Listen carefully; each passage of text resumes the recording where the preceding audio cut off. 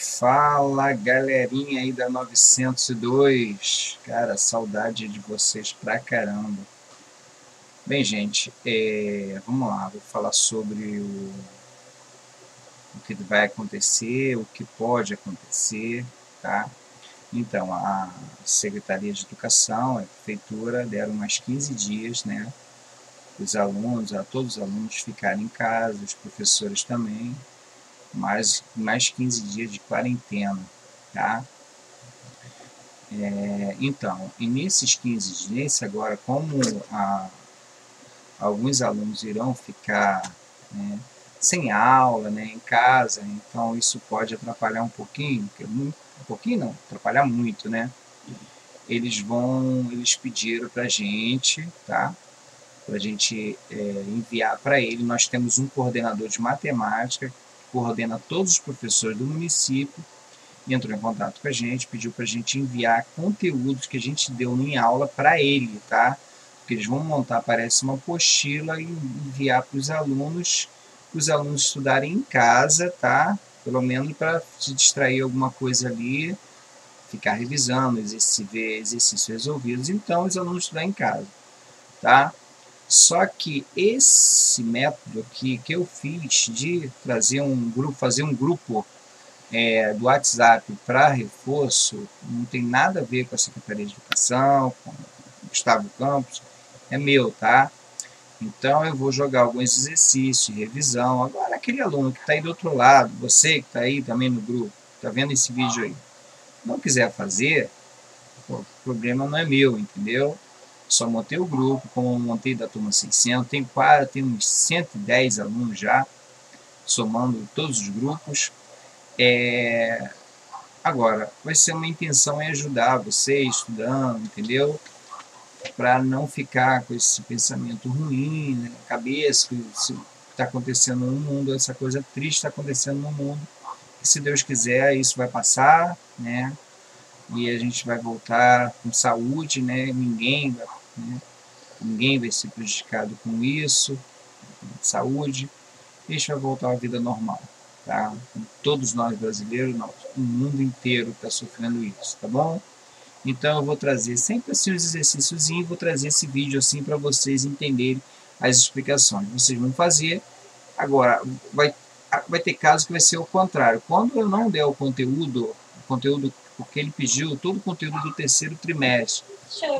Quando não tiver o conteúdo tá, dado, é, eu vou explicar antes e vou passar exercício depois.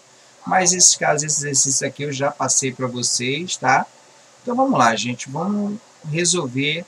Aí vocês vão conferindo aí que vocês acertaram ou não, tá?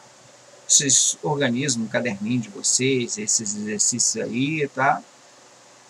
Então é o seguinte, a gente estudou isso, resolva as potências, né? Vocês já perceberam que aqui nós temos uma base positiva e o expoente também positivo, então não tem problema nenhum. Só repetir minha base cinco vezes, multiplicando, tá? Não esqueça, é multiplicação. 5 vezes 5, 25, vezes 5, 125, vezes 5, 625. Quem fez isso certinho, show de bola, de parabéns. Quem não fez, conserta aí e vamos fazer a letra B. Letra B, base 7, expoente 5, isso implica dizer que eu vou multiplicar meu 7, que é a base, 5 vezes. Então, 7 vezes 7, 49, vezes 7, se eu não me engano, deixa eu pegar minha calculadora aqui, senão vou perder tempo. 49 vezes 7 é igual a 343. Aí eu vou multiplicar pelo próximo 7. 343 vezes 7 é igual a 2.401, aí vou multiplicar pelo último 7 vezes 7, vou ver se bate ali, 16.807. Quem fez isso acertou, show de bola. Agora começou a surgir aqui na letra C, base negativa, tá? A base negativa, o expoente é ímpar, no final tá com o sinal de menos logo, e multiplica. Vou multiplicar minha base três vezes. Multiplica, esquecendo o sinal. 9 vezes 9, 81, vezes 9, 729. Menos 729, expoente ímpar. Base negativa, expoente ímpar, negativo. base negativa, expoente par positivo, tá? Então, vamos à letra D, tá? Então, essa foi tranquila. Base menos 9, vamos multiplicar o menos 9 três vezes. 9 vezes 9 vezes 9, 729. 9 vezes 9, 81. 81 vezes 9, 729. Menos, porque o expoente é ímpar. Aqui, meu expoente é par, eu sei que no final vai ficar positivo. Vou multiplicar minha base duas vezes. 15 vezes 15 mais 225. Gente, não é para somar, tá? Tem alunos que somam 9 mais 9 mais 9, 7 mais 7 mais 7. Não é para somar, é multiplicar. Esse pontinho que quer dizer multiplicação. Base negativa, expoente par, no final com certeza vai dar um número positivo. 6 vezes 6, 36, vezes 6, 216, vezes 6, 1296 quem fez isso acertou. Parabéns. Vamos para a letra F e última da nossa aula de hoje, né? De ontem, né? Da primeira aula.